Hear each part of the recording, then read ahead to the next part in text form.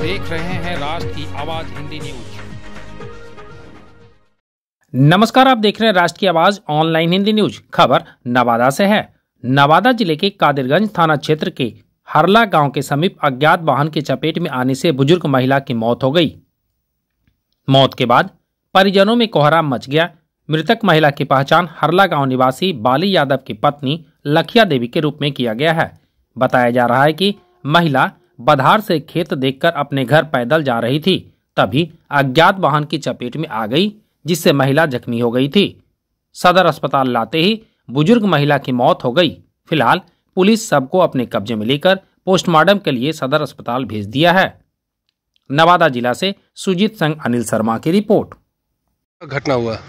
Sir गया था उधर खेती के दौरान पर उधर से आ रहे थे रोड पर और कोई गाड़ी वाला मार दिया कोई देखे ने हाँ। और वहाँ से लाते लाते सदर अस्पताल टूट गया। कहाँ पर घटना हुआ? ये रोड ऊपर रोड में हुआ है हरला गाँव है हाँ। उनका पीछे। कौन गाड़ी मारा को पता नहीं? पता नहीं चला। कहाँ कौन गाँव की महिला थी? हरला। क्या नाम था? लाखिया देवी। पति? बाली यादव। क्या नाम हुआ आपका? जितेंद्र कुमार।